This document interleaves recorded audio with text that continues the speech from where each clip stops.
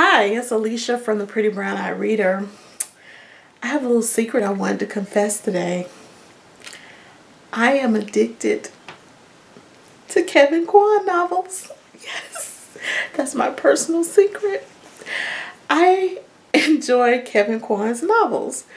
Uh, for you that are not familiar with him, he wrote uh, Crazy Rich Asians and another book called China Rich Girlfriend.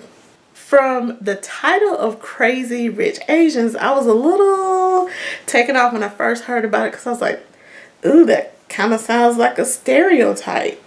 I'm not sure if I want to read it.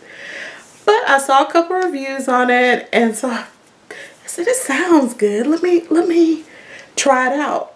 So I read it and I instantly got hooked. It is about some over the top rich people who just happen to be Asian. And I think what hooked me, the initial scene of Crazy Rich Asians involves something um, that I've experienced throughout my life and that's discrimination. And these um, Asian women are uber rich and still get discriminated against in the initial scene of Crazy Rich Asians.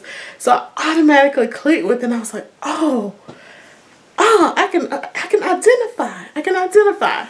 But as you read on the Crazy Rich Asians, it is just nothing but a soap opera on page. And I love it. I really, really love it.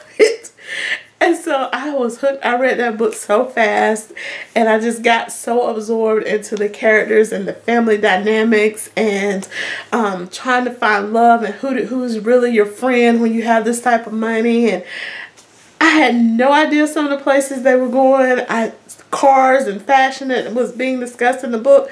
But it was so fun to me and it was just so much drama. And I love a good story with some drama in it. So after I got through with that one, I was like, immediately I went and got um, China Rich Girlfriend, which is the continuation of the first book. And it was just even more over the top uh, drama. Even some new characters were introduced. And so now I'm kind of having, I, I read all that before I started filming YouTube videos. So I haven't discussed them, but I've been feeling like I'm kind of going through withdrawal.